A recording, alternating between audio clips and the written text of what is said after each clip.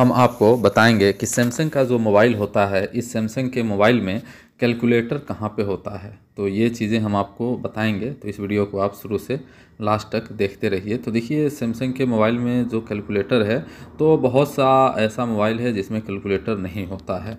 लेकिन जो नई मोबाइलें आ रही हैं तो उसमें कैलकुलेटर होती हैं। अगर आपके मोबाइल में कैलकुलेटर नहीं है तो आप प्ले स्टोर में चले जाएँगे और प्ले स्टोर में जाने के बाद आपको क्या करना है कि यहाँ पर आपको टाइप करना है कैलकुलेटर।